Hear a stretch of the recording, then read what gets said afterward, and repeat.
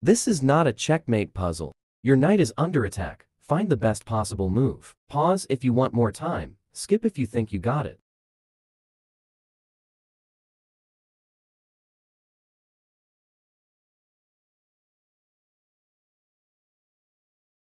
Now, king has only two squares left, if he moves to a 5. This is a mate in 1.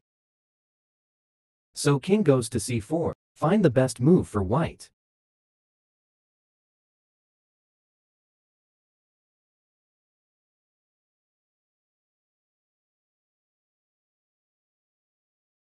If black moves his knight, he will get forked. Only logical move is king to d4. Find best move for white.